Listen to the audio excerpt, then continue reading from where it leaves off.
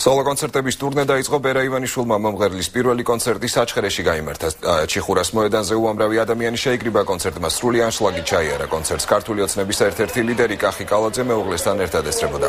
ჩიხურას მოედანზე იმყოფებოდნენ ბერა ივანიშვილის ოჯახის წევრებიც. მომღერალმა საზოგადოებას ჯორჯიან დრიმ სტუდიოს ახალი წევრი ამერიკელი რეპერი ლერილ ფლეი გააცნო. ტურნეს ფარგლებში ბერა საქართველოში 10 კონცერტს გამართავს. მომდევნო კონცერტი 26 აგვისტოს ბათუმში შედგება.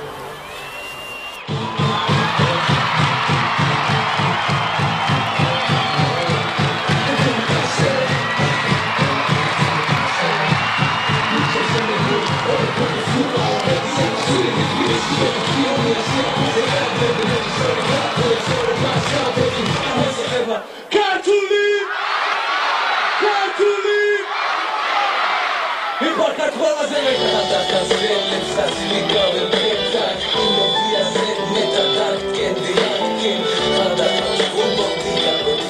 ოხარული ვარო ჩემი მეგობარი იწებს ტურნეს საქართველოს მასშტაბით. იწებს თავისი მშობლიური კუთხიდან საჩხერიდან და აი წარმატებები მინდა უსურვო.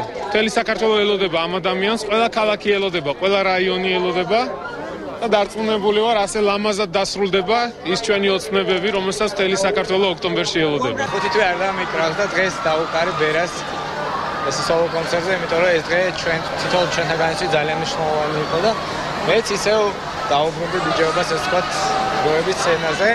ნახეთ ამდენი SMS შემოდის ახაც არ ჩერდება. ნახეთ ახლა. ეს არის უახალი SMS-ი. აუ არ ჩერდეთ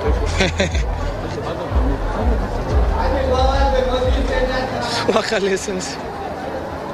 ყველაზე მეტად მეყარხართ ქართველებო. მამა ხაბრო მასენაზე ვიდექი დღეს ცხოვრება მე შანსი მომსა ბედნიერი ვარ. მადლობა ყველას